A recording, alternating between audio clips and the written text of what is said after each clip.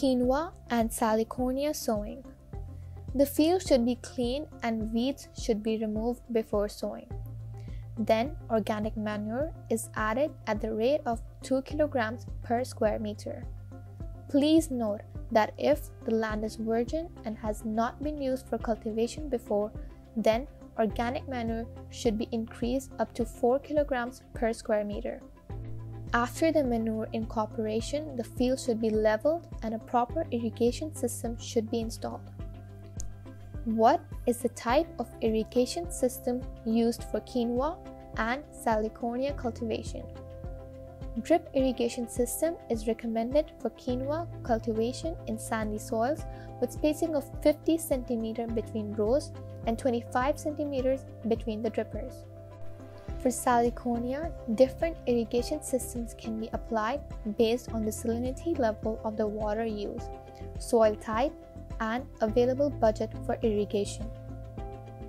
When the salinity of the water used for irrigation is above 15,000 parts per million, it is recommended to use bubblers or perforated pipes that are less expensive.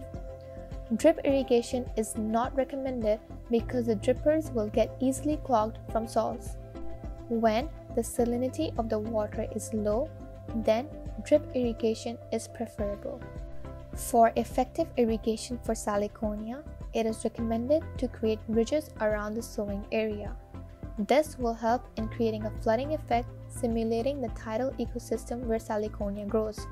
The field should be well irrigated one day before sowing. After the installation of the irrigation system, we proceed with sowing. What is the sowing rate of quinoa? The recommended seed rate of quinoa is 4 kilograms per hectare. Suitable row spacing is 50 cm and plant to plant distance of 25 cm. Seeds should be planted at a depth of 2 cm.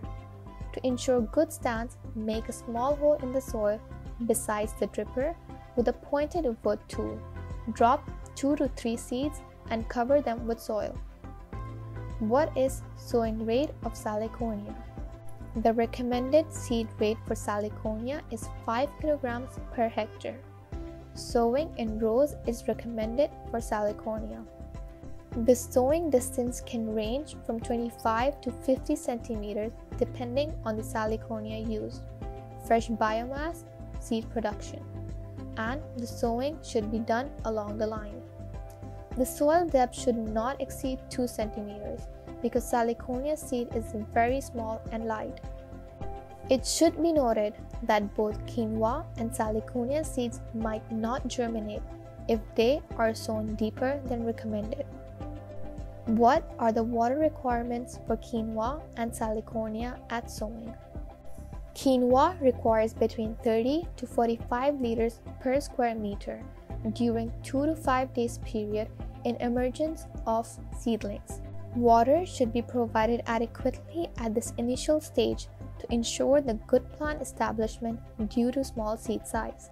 Salicornia requires 40 liters per square meter of highly saline water or even seawater, including the leaching fraction.